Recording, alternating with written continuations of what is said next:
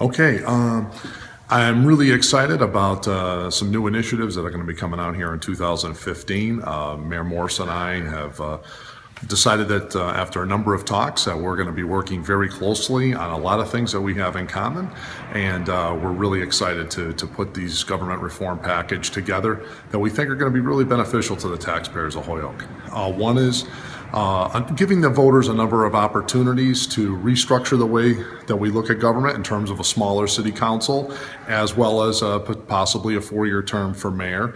Uh, but ultimately, it's going to be the voters that are going to decide whether that's something we're going to have here in Holyoke. We're also going to have an opportunity to have a consolidation of the water and sewer department, something that we've talked about uh, for quite a while. The mayor and I uh, feel very strongly that we need to uh, make that happen. Uh, we've also talked about creating a finance department, one that's more accountable, more transparent uh, to the taxpayers. that's going to really take a good look at city government, and the way we do business here, and make sure the budget is well prepared and is spending taxpayers' money the way it should be. And we're going to look about uh, to consolidate the collector and treasurer positions.